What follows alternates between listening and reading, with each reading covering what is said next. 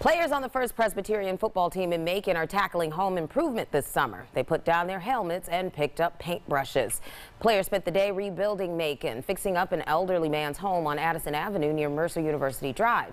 First Presbyterian coach Shane Sell says it's not a requirement for players, but they try to do some work in the community at least twice during the summer.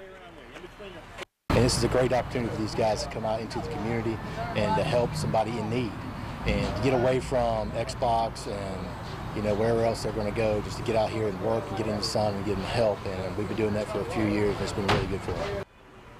Well, they repainted the side of the house. They put a fresh coat of paint on the front porch. They'll be back next week to fix the screen door. The owner says his house is the third house on that street they've done work on.